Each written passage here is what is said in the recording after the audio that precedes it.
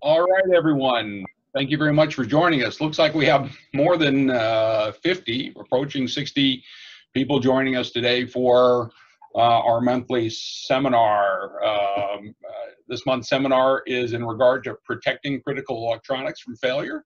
And this really covers a broad range of areas uh, for our customers with pure air filtration. So I'm going to jump right into it. And um, I'll mention to you a few things. If you could, please uh, mute your, if you're not already, please do mute, mute your microphone in case your telephone goes off or anything to that degree.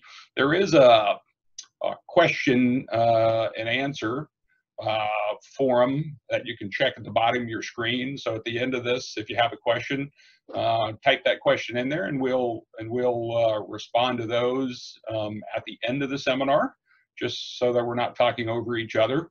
Um, and uh, yeah, if there's any other any other issues or questions, certainly send us a, a chat through Zoom. Anyway, my name is Kevin James, and I'm president at Pure Air Filtration.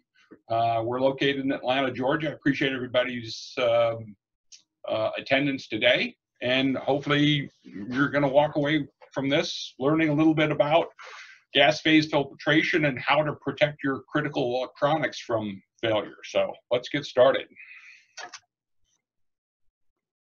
Well, so just uh, as an introductory uh, in regard to pure air filtration, we, we actually work in four categories, kind of four, four different markets or four different applications. Um, today, we're really just going to focus on this one, protection of mission critical electronics from hardware failure. I'll mention the other three just really briefly uh, today. Let me, let me turn on my laser pointer. There we go.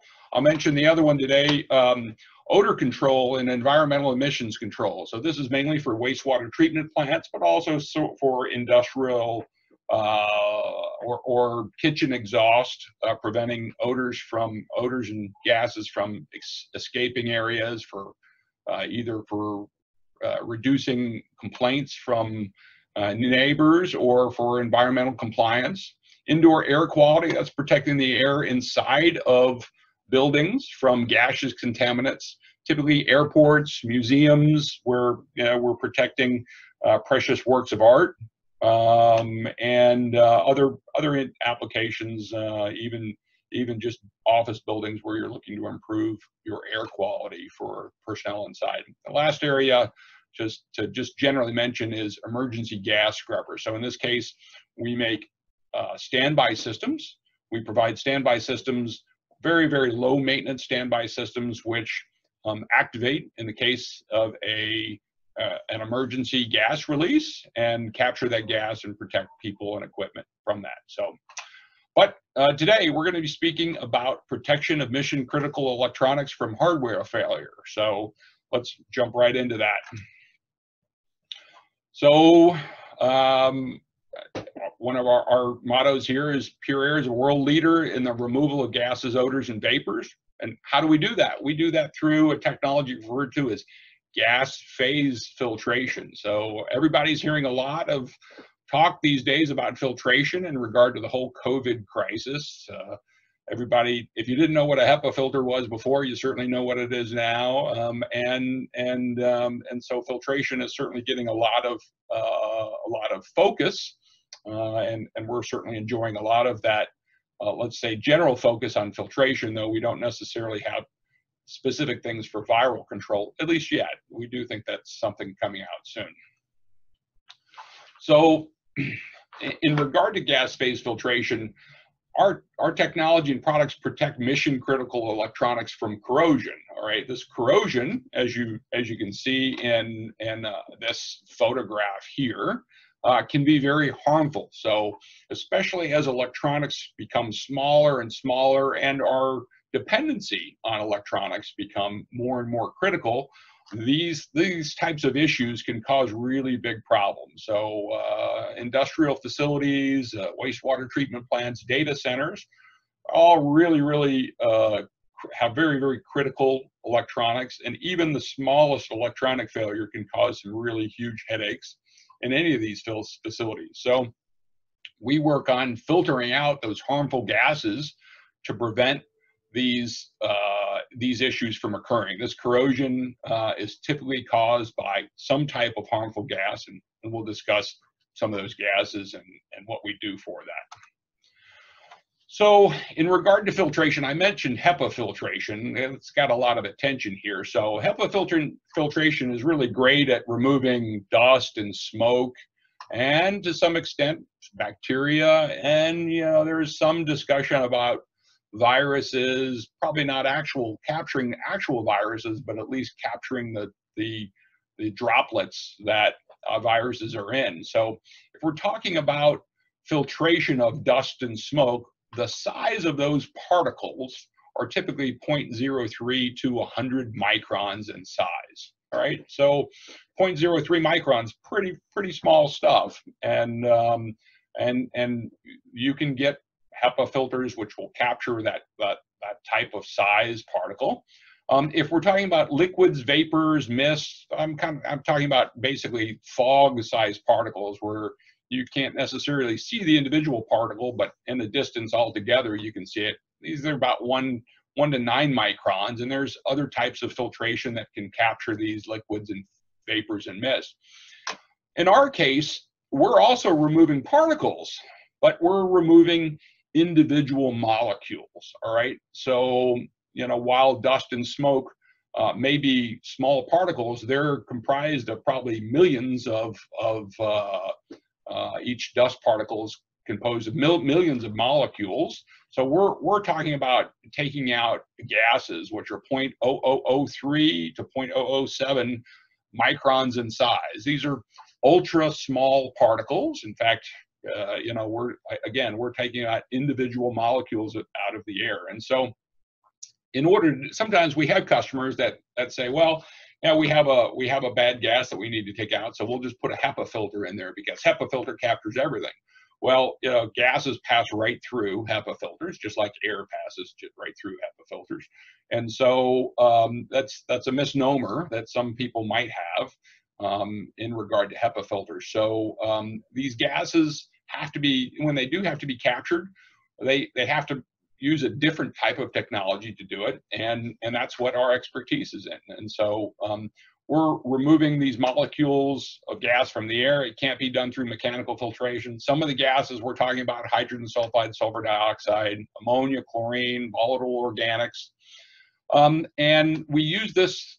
We, we we use a technology referred to as gas phase filtration or chemical adsorbent adsorbents. We use adsorbent medias to take these gases out. So here's an illustration of how this looks. Basically, we pass gas through an adsorbent media. We'll get a little more detail of this. This is adsorbent media um, uh, captures these gases and um, purified air comes out the back end of it. So the key is these, these adsorbent media that we produce here in Atlanta. Uh, we produce different types and this is an illustration of one type of a system uh, and configuration that might be used in some of these cases. So how does this technology work? Well, we, we focus on the principles of adsorption and chemisorption. So to, to help explain that, I want to focus that there are there, there are two words up here that look very, very similar. There's absorption with a B and there's adsorption with a D. So absorption is actually, uh, there, there are two very similar concepts, but I want to mention to you that we're focusing on adsorption. And adsorption is when molecules uh, are brought into an adsorbent and bound onto the inside of an adsorbent. So it's a lot like a sponge, right? So as water is pulled into a sponge, it's bound into that sponge and it's held in there. So our adsorbent are like little tiny sponges of sorts where the gases can go in and they and they're bound inside of the adsorbent. And one very common adsorbent is activated carbon. I think a lot of people are very familiar with activated carbon. Maybe you have an activated carbon filter in your water filter, uh, or maybe you have activated carbon in a home air purifier uh, with this. And activated carbon is a very good product for catching general gases. And these gases kind of go inside the pores of the activated carbon where they're, they're bound in there. Well, the problem with adsorption, like this sponge, if you take the sponge and you adsorb the water into the sponge, uh, let's, uh, let's, say there's water on a table, you take a dry sponge and you put that dry sponge um, into the water, the water adsorbs into the sponge. But you can squeeze that sponge and the water will then come back out. Well, that's a process we refer to as desorption. And um, that that's a very, it's just the opposite of adsorption. The gases come back out of the adsorbent. And while that can be useful in certain applications, in most of the applications that Pure Air works with, that's very, very detrimental. And that's why activated carbon, plain activated carbon, is typically we don't use in very many applications because our customers typically require 99.9% type efficiency. And if you have a, an adsorbent, which is occasionally desorbing these gases, and the desorption occurs for lots of different reasons, changes in pressures and temperatures and humidities, but the desorption occurs um, and um, and and it's harmful. So uh, for our uh, for for most of our products, we work with a subgroup of adsorbents called chemisorbents. Chemisorbents are adsorbents with a chemical modification made to the adsorbent, so that when the gases go into the adsorbent, they're chemically modified, typically turned into a solid, and they are bound in the inside of this adsorbent and they cannot be um, uh, unbound. All right, so it's a permanent reaction and it gives our product a very, very, very high efficiency uh, in regard to the capture of these odors. Um, the, the one disadvantage uh, in regard to this is that chemisorbents, once they are fully consumed, cannot be regenerated. So plain activated carbon you might hear about uh, can capture odors, and then you can send the, the activated carbon through a special process. Maybe you have to send it out to be processed, or maybe you've got the, the equipment on hand uh, to go through a regeneration cycle where you can basically desorb all the gases out of the activated carbon and then and then reuse the activated carbon. So there's there are some filters even in your car and your automobile which do that. Um, use activated carbon for capturing gasoline vapors and such. And so um, that can be a very useful function. For our customers that are expecting high, high removal efficiencies, uh, we use chemisorbents. When the chemisorbent is completely consumed, it needs to be replaced. So in this seminar, we're going to be talking about how we use that technology to protect mission critical electronics.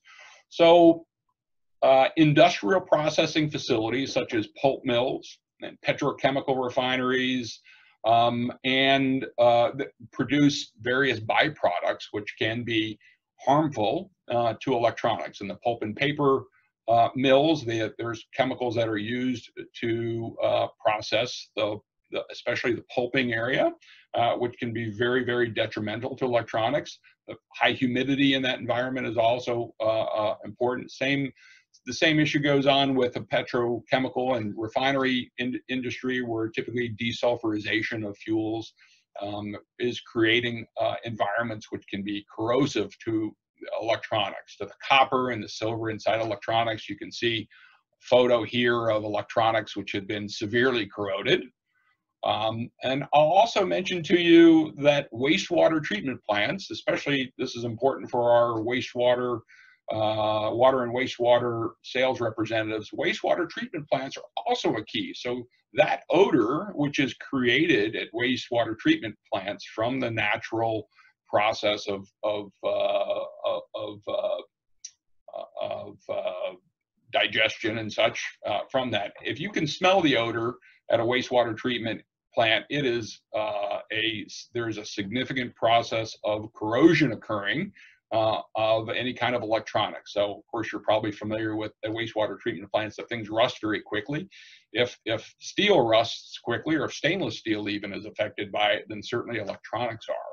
Uh, another area is certainly um, data centers, uh, especially data centers in very uh, urban environments where maybe there aren't very uh, very good automotive uh, exhaust controls or industrial controls. Typically, developing countries uh, data centers. So. Um, so even relatively small levels of gases can corrode the copper and silver and other metals in this electronic equipment. So just think you've got these very, very small circuits. These circuits are typically made of uh, a silver solder. They typically have copper circuit paths in there or other other copper electronics. And I'll mention to you in in prior years, uh, there's been a um, a push for the it's called the RoHS uh, regulations, removal of hazardous substance, where in in the effort to remove lead from uh, and other hazardous substance from uh, the general use, um, most lead has been removed from a lot of solder um, in the electronics industry. Well, that lead provided some protection against electronics. And so now the lead free solder is extremely uh, susceptible to corrosion. And, um, and, and we've seen just a, a really huge increase in the amount of corrosion um, after the implementation of the RoHS, ROHS um, uh, standards to remove lead, lead from uh, electronics. So that's something where you, you, may have may have seen an increase in the amount of failures of electronics um, after this RoHS uh, reg, uh, regulations were put in place. So how uh, how many um, how many items in a mill, refinery, data center, wastewater treatment plant ever outlived their warranties? So uh, the, the, the key is in some of these, um, and many, many of these facilities, uh, the electronics that are provided by um, big companies like uh, Honeywell and such are typically have a statement deep, deep, deep in the warranty, which indicates that the, the environment has to be suitable to the electronics. And so we have worked with a number of cases um, where uh, manufacturers of electronics did not um, uh, honor the warranty of electronics because they had huge failure rates at facilities. And when they looked into it, they found out that the environment was extremely corrosive to the electronics. And there was, a, you know, of course, a big battle uh, in regard to it because um, they they the manufacturers claimed that they the electronics weren't being properly protected. So um, properly protecting electronics um, prevents unplanned downtime. It prevents replacement of equipment prematurely, um, and uh, it, it allows manufacturers, help uh, paper mills, refineries, data centers to be free to do what what they're intended to do rather than tracking down electronic failures and dealing with loss in productivity. So here's just some different uh, areas where you might uh, experience some uh, corrosive gas uh, effects. Control rooms, absolutely critical. Often the control rooms are right next to the process which they are controlling. And sometimes those processes have some very corrosive gases. So control rooms are almost always uh, purified in these corrosive environments. Motor control centers, especially as motor control centers are using more and more variable frequency drives. Uh, these variable frequency drives are, are basically small computers that are adjusting the, the voltage and the frequency in order to uh, control the motors. So these small computers have small circuits and, and they do corrode. And so very we, we very often run into customers who say oh no we don't we don't allow for any use of variable frequency drives because of their poor reliability well it's because that reliability is typically related to gaseous contaminants that are causing uh, some type of failure of the variable frequency drive. So if we can fix that gaseous contaminant then we can fix the um, the, the, the reliability problem of the variable frequency drive. Um, also laboratories, you know, laboratories are, are very often, uh, especially at a paper mill or, uh, or refinery where they're, we're checking um, various levels uh, in the laboratory. Uh, they're often getting some hydrogen sulfide released in there and, and um, we, uh, we're, we see work with some customers have some very, very expensive lab equipment, which fail very, very quickly. Um, you know, we see some of this lab equipment easily costing $20,000 and they're replacing it every year because it's failing with it. So it's, um, uh, you know, a simple solution to fix this uh, and prevent that type of failure. So there are there are lots of things to consider, and we're not going to go into any kind of detail about looking at the solution on how to to um, um, uh, solve the uh, airflow, uh, the, the air quality in an electronic environment. But these are just some of the areas that we take a look at. Uh, you know, what what is the the type of contaminant and the level of contaminant of gas that's in there? Of course, that's one of the most important things to take a look at uh, what kind of airflows and and uh, do, are, do we need to take a look at with the HVAC system in there? Temperature and humidity are really really important factors to consider because they affect the rate of corrosion. We can take a look at pressurization or recirculation in order to solve the problem. Pressurization is a really nice thing to be able to have, but it's not always easy to do that. Um, typically, it's a much bigger project to install pressurization in the existing system. So we can very often rely on recirculation systems to solve the problem. Uh, lots of issues with space restriction. Nobody has extra room sitting around to be able to take systems, so we very often have to put systems uh, on top of roofs or up in ceilings or something. Important factors to consider the building construction. Is it a well-sealed room or is it not? How, how often are people coming in and out of the room? How often are doors being opened? Uh, we, we also want to look, take a look at particulate filtration. And once we get the system in place, how do we know that it's working properly? So keep in mind, our technology, we take invisible polluted air and we purify it and out comes invisible purified air. So how do we know when the system's working and when the system needs to be maintained? So we'll discuss that here real briefly. So the basis of this uh, work is from the um, International Society for Automation. This used to be called the uh, Instrument Society of America, and they renamed it years ago to the International Society for Automation. Uh, I sit on the com this committee uh, for the ISA 71 uh, committee. Um, this, there's a standard that was written originally in 1985, and it was revised just slightly in 2013. And this standard basically provides four class a method and four classifications for measuring your air quality. And it has a very simple test. The simple test basically uh, provides for the use of a pure copper and a pure silver strip. Here's an example of what our what our test strip looks like. We, it's very often called a corrosion classification coupon. So in our industry, you hear this discussion of coupons, and it's just a pure copper, pure silver strip. We have a uh, we have a nice little plastic cover over it so that people don't touch it and and invalidate the results. And uh, that strip is left in the air uh, in the uh, in the uh, affected space for 30 days. Uh, on average, 30 days. Um, but it can be left in a little bit less or a little bit more as long as you document how long it's in. And then that, that sample is sent back to our laboratory where we do a coulometric reduction in our laboratory on that sample and actually reverse the corrosion and uh, electronically. And by reversing the that uh, corrosion electronically, we can actually measure the amount of corrosion and also the type of corrosion, what caused it, sulfides or chlorides or oxides in order to give a good analysis of uh, what uh, what has occurred uh, during that 30 days. All right, and the ISA standard comes up with these four categories.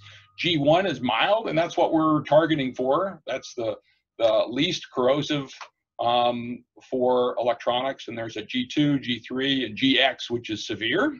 And these are some some guidelines that the ISA standard gives for a general um, level of gases that might be in those areas um, with it. So the key I want to point out is hydrogen sulfide. This is one of the gases that we focus on the most. In order to maintain a G1 environment, we have to maintain three parts per billion of hydrogen sulfide. look at for chlorine, it's one part per billion. So this is a this is a real challenge, and this is why we have to use our chemisorbents rather than adsorbents. Because if an adsorbent is occasionally uh, releasing or desorbing a little bit of the gas that it captured, well, that you're never going to be able to maintain one part per billion or three part per billion. And so that's why our adsorbents uh, have to have this ultra efficiency and permanency to their work. So here's an example of what one of these coupons looks like before and after. So as you can see, we have basically a mirror finish to the copper and to the silver prior to testing.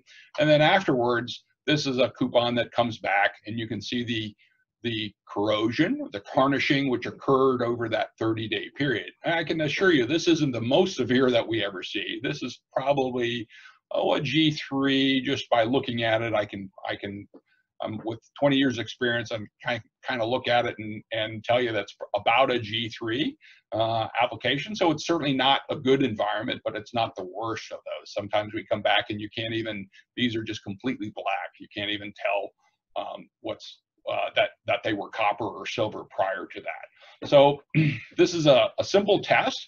Uh, we provide these these uh, corrosion coupon testings to, to customers all over the world is a very simple test, very low cost, and allows the customer to get an idea of what's happening. Again, it's an invisible problem.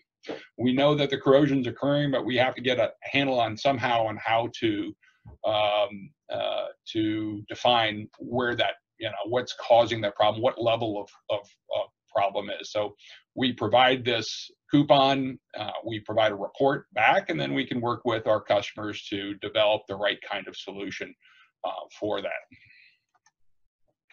So in regard to the standard, I'll also mention just a, a couple of things. Um, uh, I, I, alluded to this earlier, but the control of temperature and humidity is really, really important and is, and is focused on in the standard as well. So while our systems don't necessarily control the temperature or humidity of the room, we're concentrating more on capturing the gaseous and to some extent the particulates in the air as well. Uh, uh, it's very, very important that we also are taking a look at humidity control and temperature control because any humidity above 50% is really creating a, a problem and it and it uh, basically accentuates the problem with the gaseous contaminant. So to give you an idea on why that's the case, hydrogen sulfide itself uh, is is somewhat corrosive, but the real problem occurs when a hydrogen sulfide molecule combines with a water molecule and turns into sulfuric acid. And that sulfuric acid comes down onto the electronics and causes the corrosion. So if we can control the amount of water droplets or humidity, not water droplets, but water molecules that are in the air, then we can control the amount of sulfuric acid that is created. Um, and we can reduce the corrosion. So we want to keep that humidity level below 50%.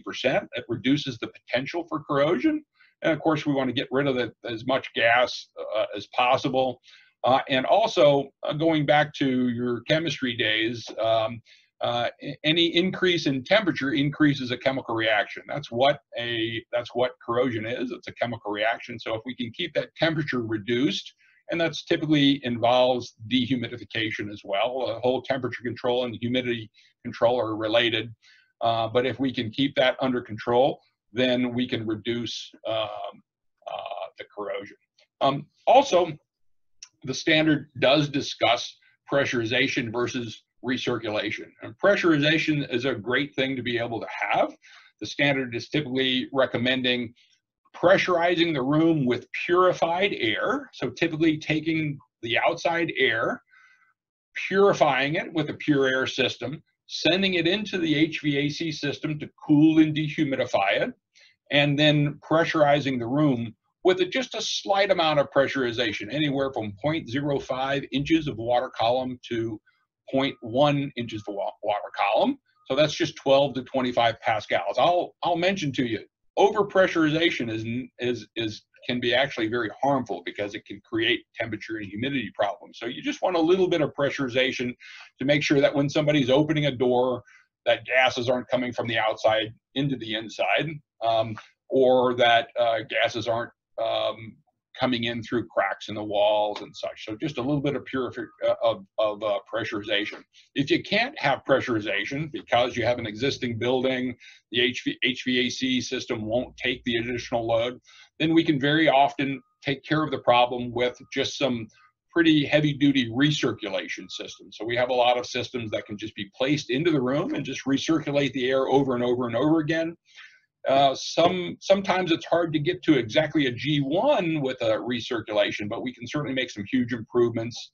Um, uh, maybe taking a GX to a G2, maybe to a G1, just depending on the application there. But certainly making some huge improvements in the corrosive nature of the environment there. Um, just a little more information. Uh, particulate filtration is important as well. You don't want all that dust collecting inside of your electronics. Our systems typically do have very high efficiency dust filters in them as well. So we do take care of that dust filtration at the same time, though that's really just an accessory. The main focus is really fo is focusing on the gas absorption. Um, we're also working with our customers to understand the construction, more understanding about the room itself. Every room is that we work with is different. Uh, it might be very well sealed up room. It might be poorly, you know, a, a very porous construction uh, with it. And so uh, typically a well sealed room can be more easily fixed uh, than a room that isn't very well sealed. And, and we also provide sealing services, uh, services for rooms uh, in many cases. So when it comes to air purification, this is examples of what some of the equipment looks like. So uh, we'll just mention to you, there's kind of two types of systems. There's deep bed systems, and this is an example of a deep bed system. A deep bed system is filled with our loose adsorbent media, and so the air is drawn through the adsorbent media, and uh, the gases are captured in what's called this deep bed. So this would be basically a, a three foot or one meter deep bed of adsorbent, and that's a traditional, very very heavy duty solution. Uh, certainly, the choice technology for a GX environment, uh, going to have long lasting, really high efficiency system. But these are very expensive systems and very large systems as well. So there are, uh, in addition to deep bed systems, there are cassette type systems. Here's a nice example of uh, a system, I believe this is a system we provided into Abu Dhabi, uh, offshore oil rig. And here there are cassettes that are in place. And these cassettes, uh, let's see if I can show you a picture of a cassette here. Uh, these cassettes um, uh, are pre-filled with the adsorbent media and they don't have quite the efficiency of a deep bed system but you can have multiple sets of these cassettes uh, in series and they provide the level of efficiency needed based on the, the number of cassettes so if it's a uh, typically we have two types of cassettes we have a pp18 a pp12 and typically a pp18 is a medium duty cassette. It can be it can improve your air 1g level and a pp12 can improve it two levels. So if you need to make three uh, improvements then you might have to have two or three passes of these cassettes in, in order to get uh, to that area. Um, so again, going back to deep bed systems, this is kind of what this deep bed system looks like. We can actually have multiple adsorbent medias. If you have multiple gas types that have to be removed, we might have to provide multiple adsorbent media types. So that's a adsorbent, that's a example of the deep bed system. Blower on this side. Typically we're drawing through the air in the system and then purifying it with one or two different media types and then exhausting it uh, out. In this case, this is a, a deep bed system for odor control where we're exhausting to the environment. Uh, for protecting electronics, we would typically be uh, pushing that air in to pressurize a, a room space. Um, also, recirculation system. These are a couple examples of a small recirculation system. This is our PFU Mini. This is a small roll in the room uh, unit in case you've got a problem that needs to be addressed right now. This is basically an off-the-shelf unit that you can roll into the room to provide some immediate uh, remediation of the problem. And then we have some larger systems that can fit into the corner of the room and provide a lot of recirculation as well. So this is what a typical recirculation system might look like inside of a control room. Uh, here's the the PP18 cassette and the PP12 cassette. So this is a, what would, would be referred to as a medium duty cassette and a heavy duty cassette. So typically improvement of at least one G level here, improvement of about two G levels there. Um, again, cassettes are not going to last as long as a deep bed system will, but they do operate at a much uh, higher velocity. And so they allow you to shrink the size of the unit, shrink your initial capital outlay as well too. So really great solutions for cassettes as long as they're configured properly. In regard to adsorbent medias, we have lots and lots of adsorbent medias, all manufactured here in our facility in Atlanta. Uh, so we have adsorbent medias of lots of different shapes and colors. Probably one of the ones that we're most famous for is this permanganate impregnated alumina. We offer this in 4, 8, and 12 concentrations. 4 is the original. 8 is kind of a standard in the industry. And, and 12 we developed a few years back um, uh, as, a, as the kind of leading edge technology. And, and, basically, these just have a longer life. For the Pure Air 12 is basically three times longer in life than the, the Pure Air 4. So there's some really great advantages uh, for customers, especially in these cassettes where you're using, where you have less adsorbent media in the system. If it lasts longer, then it's a really great benefit. Lots of carbon-based adsorbents. We do use some plain activated carbon for some applications where some volatile organics might be used. That's where activated carbon itself works very well. We have a catalytic carbon with a capacity for hydrogen sulfide of 66% by weight. It's like a, a, a, hydrogen sulfide sponge. Some other products, low cost um, hydrogen sulfide scavenger, our self-absorb FE, and we also provide a lot of blended products. For protecting electronics, I can tell you that the, the, pro the product that is typically going to be working the best overall for most customers is our PP blend. This is a combination of our self-absorbed media and our Pure Air 8 media. It's a multifunctional product which uh, captures basically all of the corrosive gas families. And so if you don't know exactly what gases you have, use PP blend and it'll it'll take care of the issue. Is it's our default for all of our protecting electronic applications. Here's a little bit of information. We'll have this available to you. Um, uh, we can send it to you by email, but this is just some good information about uh, different adsorbents and where they where they can be used well for VOC capture or sulfur compound capture, etc. So, and just general cost of usage. So we can provide that to you um, afterwards. If you shoot us an email, we'll send you this presentation for you to take a look at.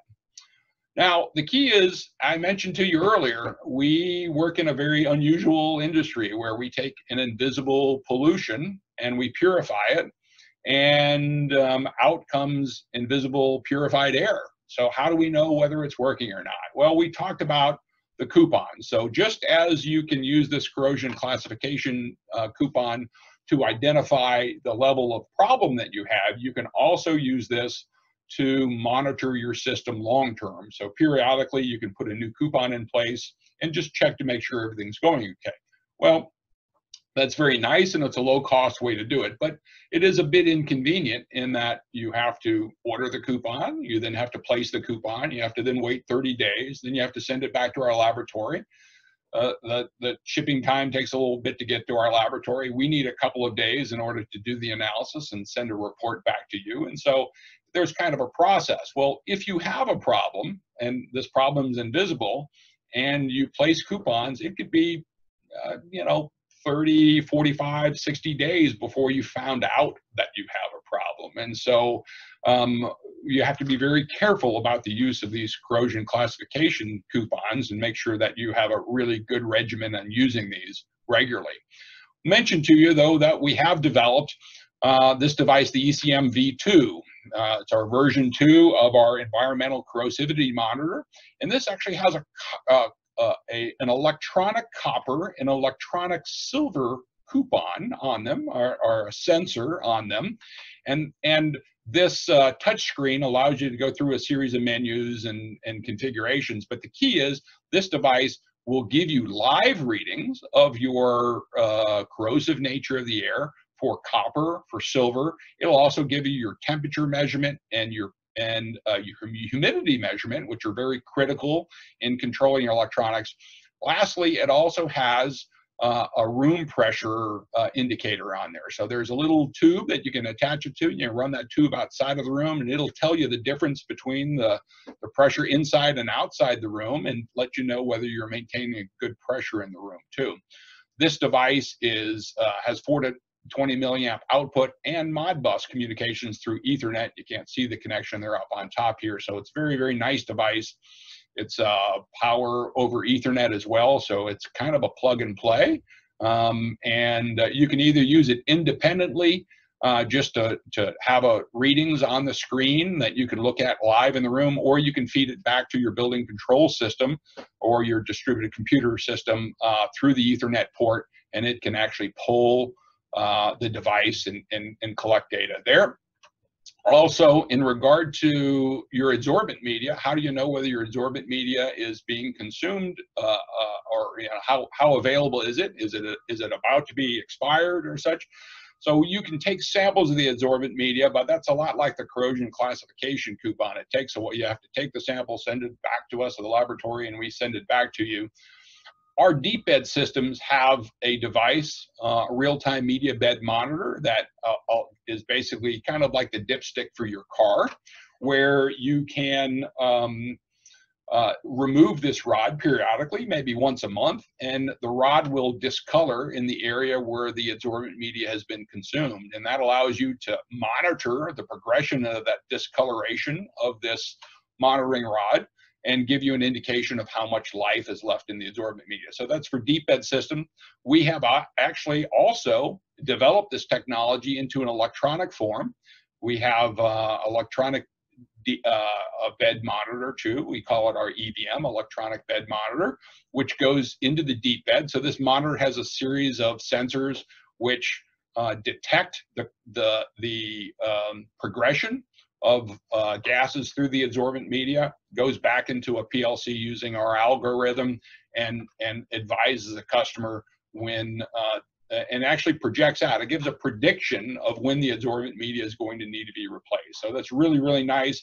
Typically used in odor control systems primarily, um, but it's a, it's a really great technology for knowing because otherwise, if you don't have any kind of monitoring system, it just, um, eventually the adsorbent media just expires and you don't know about it until either you find out that your corrosion coupon has has uh, uh, has gotten really black uh, while you while you weren't monitoring, or your um, or or your ECM device here starts triggering off and and suddenly you're in emergency mode needing to replace that adsorbent media.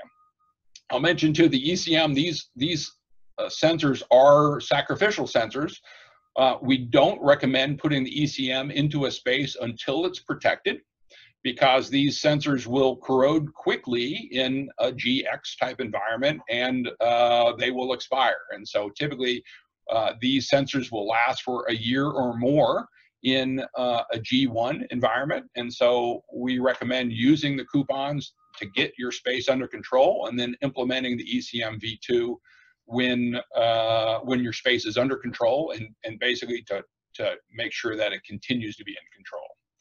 So uh, just a little a little plug for Pure Air. Pure Air provides a full solution. We help you identify the problems, design appropriate solutions, follow through implementation, and the key is to monitor the system as well. We've seen a lot of of uh, people, customers in the past, customers of, of other uh, that have bought air purification systems, they put them in place and then they kind of forget about them. And years down the road, uh, they don't uh, understand that the system's not functioning any longer. Again, it's invisibly purifying the air. And so we try to work with customers to make sure they understand that concept and they have all the tools in place to be able to do that. So we're entering into our Q&A session. We've got, looks like we've got 80 attendees that uh, attended today. I really appreciate your time. And so um, let's take a look to see if we got uh, questions in. Um, yeah, so we did, we have um, a question coming from the United Arab Emirates. Um, uh, it says, one objection we often encounter is that humidity and temperature control is sufficient to deal with corrosion in in control centers and no need for expensive gas phase filtration. What's pure air counter argument? Well, I'll tell you this. If we have a customer that has a limited budget and he has he has humidity problems and temperature problems and problems with gaseous filtration, our recommendation will be to take care of the humidity problem first. Humidity is the biggest problem for um, uh, for protecting electronics. So you've got to get that humidity certainly below, well, preferably below 50%, but just as low as, as possible. In some areas of the world, like my, our area of the world, the southeastern United States, is a very, very hum, humid area. It's very difficult to get below 50%, but you want to get that humidity uh, under control. That's your first priority. Uh, once you've gotten the humidity under control, then you can work on uh, gaseous filtration and you can work on, and typically when you get humidity under control, you're also getting your temperature under control because you're using a, a cooling or dehumidifying coil to do that. So um, uh, we, we would say that that's, that's your, should be your first priority. But I'll tell you this, that's also one of the most difficult ones to do because that involves a lot of HVAC changes. And I can tell you that one of the quickest ways to make a big improvement in your air quality is simply to wheel in a recirculation unit into the room and start recirculating the air inside of the room to remove the gaseous contaminants. So you may not get to G1 immediately in doing that, but you can take a GX environment and you can improve it really quickly to maybe a G2 environment by just bringing in a, recircul a pure air recirculation unit, properly sized recirculation unit. So, you know, that's a really great um, solution, initial solution, all right? Maybe that's not your total solution, but you're going from a really bad situation uh, to an improved situation, and maybe that gives you some time in order to put uh, a more permanent solution in place with dehumidification and temperature control. So uh, thank you very much for that question. That was very, uh, very uh, good point uh, coming from the UAE. Wanted to check any other questions? All right. Well, I think that was it. I really appreciate your time today. Uh, very, very, very pleased by the attendance um, today that we had for it. Um, certainly shoot us a note, ask any kind of questions that you might have. Uh, this presentation is available to you if you'll just send an email. Um, our email info at pureairfiltration.com is a great email to send general inquiries to, and you're, of course, welcome to send me a note, K. Jameson at Pure Air Filtration. Thanks for your time today, and let us know how we can assist you.